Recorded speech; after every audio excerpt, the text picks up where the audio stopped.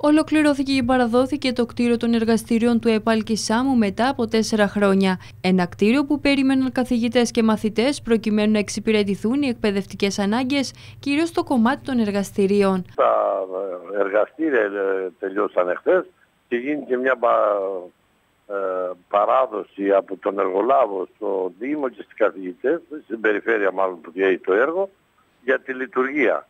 Δεν έγινε παράδοση ε, με υπογραφή δηλαδή των ε, παράδοση του, του, έργου. Έγινε παράδοση για τη λειτουργία. Έγινε το κτίριο το οποίο είχε μελετηθεί για να εξυπηρετηθούν τα, οι μαθητές των ΕΠΑΛ που χρειάζονται εργαστηριακή υποστήριξη. Από το 2019 οι μαθητές του Γενικού Λυκείου και του ΕΠΑΛ Κισάμου έκαναν μάθημα μέσα σε προκάτ ενώ οι διαδικασίες για την ανέγερση του νέου κτηρίου καθυστερούσαν.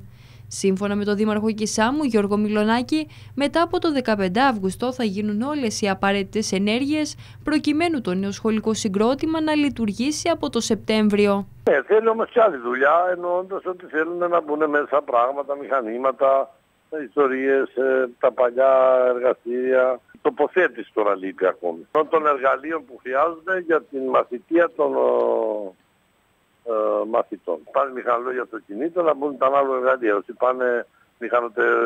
άλλες ειδικότητες, ε, μηχανο...